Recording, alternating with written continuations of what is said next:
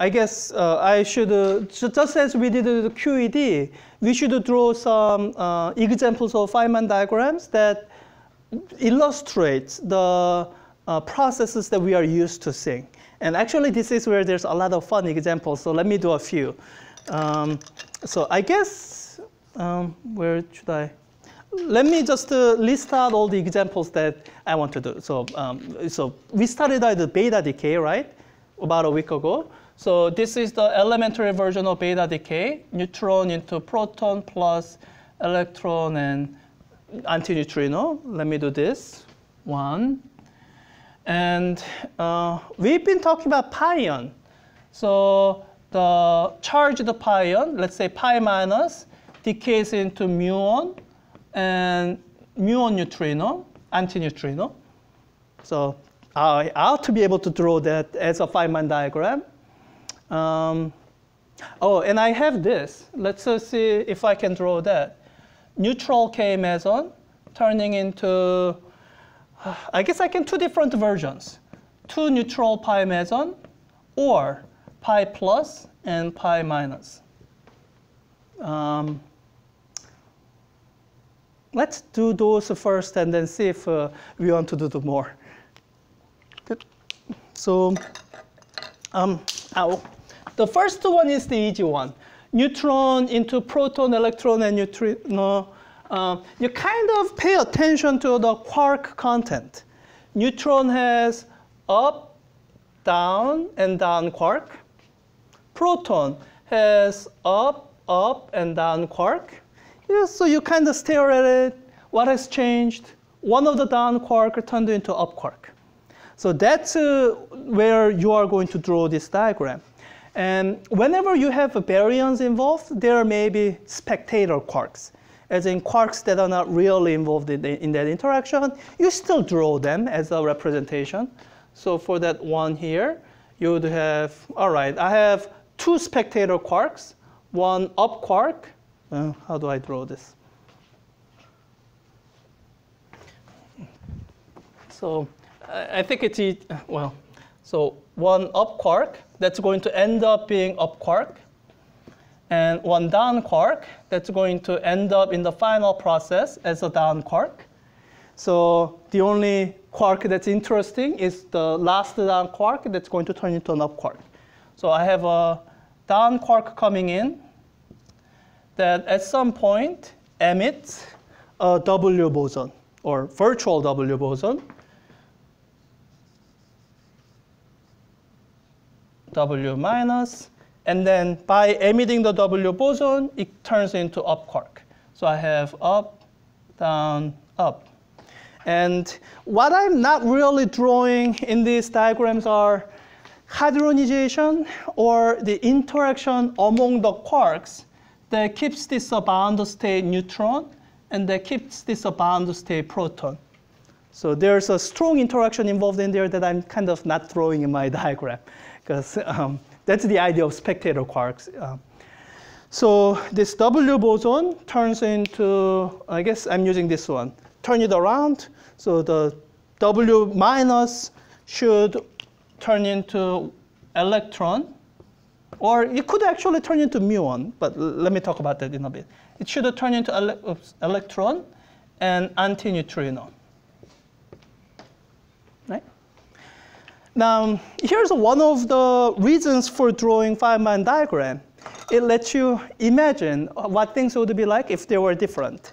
For example, um, so you know, I have all of this. So I have this W boson. Why couldn't it be, you know, uh, muon and muon antineutrino? Like, doesn't look like it has violated anything. So why couldn't uh, why couldn't this this be muon instead of electron? So that process never happens. So that must mean it's uh, prohibited by one of these conservation laws. Which one? Muon is heavier. Muon is what? It's heavier. Heavier. So which of those conservation laws is it? Energy. Energy, right? Yeah, energy. Neutron doesn't have enough energy to produce proton and muon, but it does have enough energy to produce electron. Um, all right, so yeah, so that doesn't happen. But while you are at it, um, I guess I haven't really mentioned the mass of the W bosons, right? So when you look it up, this is how heavy they are. Um, W bosons, they you know finally found you know produced in the 80s or something. They are about 80 GeV, or about 80 times as heavy as a neutron. So um, what does that tell you about this? So, well, okay, what I will tell you is, um, um, so that is the mass of the real W boson. That's the W boson on the mass shell, has mass of 80 GeV. This is a virtual W boson. It can have whatever mass it needs to have to conserve energy and momentum here. so this virtual W boson has mass of like 1 MeV, and that's fine because virtual particles are not required to have the same mass that real particles do. Okay, so that's the first process here. Let me draw second and third. And I guess I should actually do one more that's not here. I, since we are talking about W boson, I should tell you the process, the reaction process where W boson was produced. Like the, the W, the, they found the real W boson. It's like free W boson, so I should show you that. Um, okay, so that's one um, done. So let's do the uh, process two, where a pion turns into muon and, oh, so I, I yeah. I, thought of reusing the diagram, but I think it's easier to just redraw from scratch.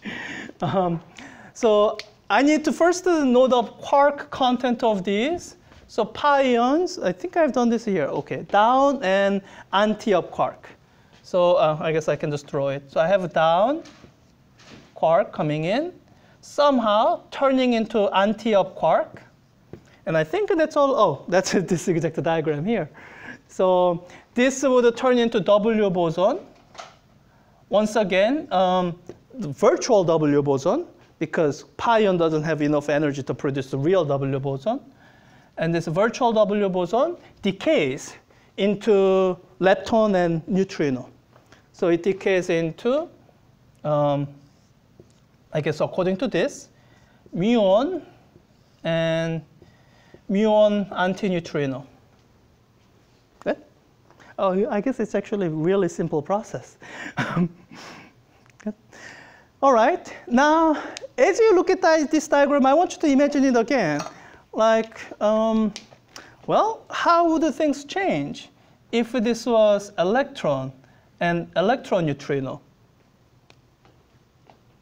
Should that process be allowed?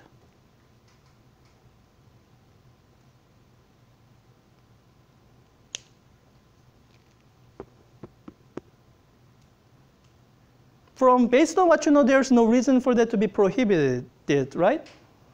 So let me tell you this, and we are not going to get too much into it because we can't. Um, let's see, I can look at pion uh, decay branching ratios. Okay, pi decay modes. So muon is the predominant decay mode. It does decay into electron and neutrino, but only about 1 out of 10 to the minus 4 times, 1 out of 10,000. It, it's a very puzzling fact until you are told, um, I guess, at least two more facts that um, I'm never going to test you on. The first is the um, idea of parity non-conservation. How many here are familiar with the word parity? That doesn't mean equality, it means something else. Parity, mirror, mirror symmetry. The idea that when you are looking at a mirror and you know you move an arm and it looks like it's another person in that mirror moving an arm. So physics out here looks the same as the physics inside the mirror. Uh, that idea is referred to as parity symmetry. And it's a very natural kind of symmetry that physicists have been assuming the whole time. And this is one of the really significant discovery um, in the modern physics, is that parity is not conserved. In fact, parity is maximally violated in the weak interaction. So once again, this is not something I can test you. I will tell you where you can read about it. And where you can read about it is in one of these optional readings. fall of parity. And you will, if you ever come across a particle physicist, you will hear this attitude, or any physicist actually, any experimental physicist. When you ask someone a question, they can answer with this. That's a matter of experiment. It, it's an experimental question. You ask them, you know, is does uh, is uh, electric force an inverse square law? And they will answer, that's an experimental question. and that's an attitude that's conditioned by fall of parity uh, conservation, because that's what physicists were used to assuming is conserved. And when someone bothered to go out and check it, in the context of weak interaction, they found it's maximally violated. It's violated as much as it can be. And what you see here is um, um, kind of a hint at that, that parity is not conserved. One of the consequences of parity not being conserved is that neutrinos, they come in only one particular handedness. Uh, I think all the neutrinos are left-handed, meaning they, uh, if they're traveling in some direction, then their spin is always, I think, anti-oriented with the, their, their direction of travel.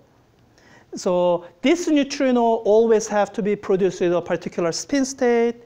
Pion is a spin zero particle.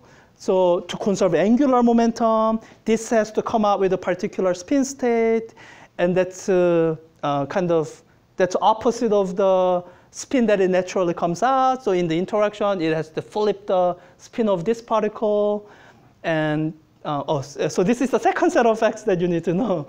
Um, when the, these particles become relativistic, uh, that spin flipping becomes much harder, uh, something called the helicity. So the difference between electron and muon is that muon is heavier, so it's less relativistic than electron. So that spin flipping process becomes easier for muon. That's why it happens more frequently as a muon rather than electron.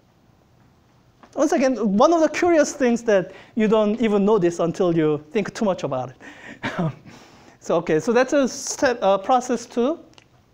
Um, now K is, I guess, interesting one because this one, as you are looking at it right now, it doesn't even look necessarily like it should involve weak interaction. What would be a hint that it must involve weak interaction is once you start looking at the quark content of the K meson. So quark content of the neutral K meson would be a down quark? No, I don't know. I think it's, uh, I might be messing this up. It's an anti-down quark and a strange quark. So that there, I know strange quark has charge of minus one third. So I need the anti-down to cancel out the charge, give me a neutral charge. And these final particles, they are all pions, meaning you can have only up and down quarks. So that means um, I have to get rid of a strange quark. So I'm, this is involving a quark changing operation. If it's electrodynamic, quark cannot change type. Only in the weak interaction, quark can change type from strange. So, oh, uh, I guess I should have noticed that. So uh, this is the down and up quark version. So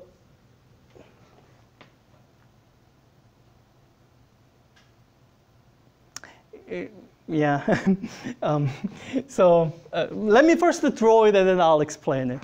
Uh, I think this is good. It's getting into features of um, it's getting into features of this standard model that I've been meaning to get to. I think I'm getting to this um, as I'm drawing these uh, Feynman diagrams. So we talked about non-conservation of parity. So what we are going to now talk about is, um, uh, I didn't write it down. Under three generations, there's the idea of skewed generations that uh, we need to talk about.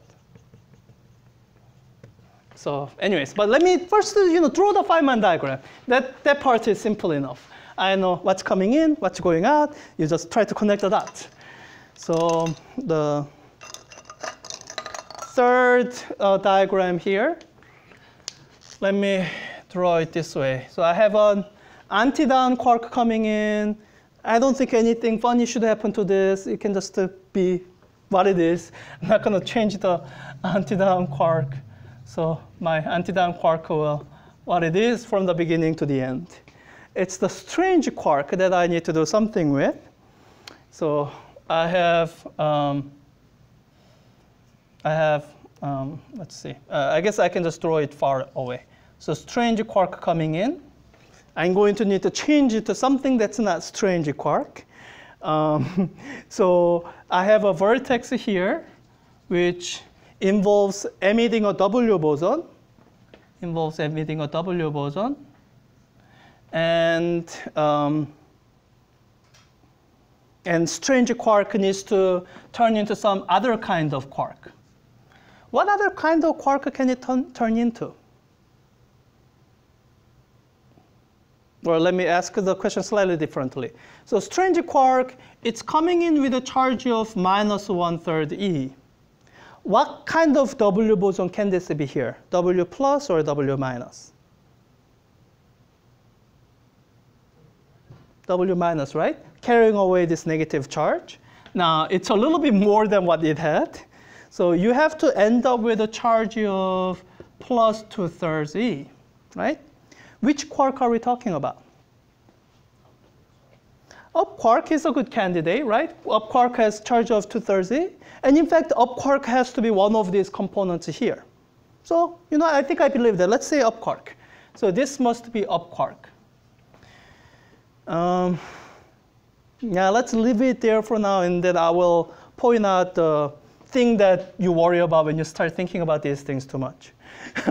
so this is what you have right now. You have down or anti-down quark and up quark. And this W boson is going to decay into a pair of up and, or I guess, down and anti-up quark. Now, if this decays like this, down and anti-up quark, then these, um, then these particles would hadronize into neutral pions. Um, but it could also happen this way. So how would this happen? Well, for that to happen, I guess you just uh, switch this around. Um, so W minus boson, I mean, it decays into the same things. It said that you know, down quark goes this way, anti-up quark goes this way. That's not right. Hmm. In fact, that doesn't work at all. So um, because you know you can have two antiquarks. So this is the only way it can hadronize. If you want to get the possibility of producing positive and negative pions, actually this is what you need. Let me draw a separate alternate version. You have down quark here, and really the way it should go is this strange quark emits a W boson, and this strange quark, which turns into up quark, that hadronizes on its own. So that, you know, this just hadronizes into pi plus, turns into pi plus meson. And this W minus boson, after it decays into down and anti-up quark, these two hadronize into pi minus. It's kind of a very subtle difference. It's a question of, um, essentially, it's a question of this. Um, the two quarks that started out together as one K meson, do they end up together as one meson, producing another meson out of its own energy? Or does the, the initial meson essentially split into two? Uh, one quark forms part of one meson, the other quark forms part of a different meson, right?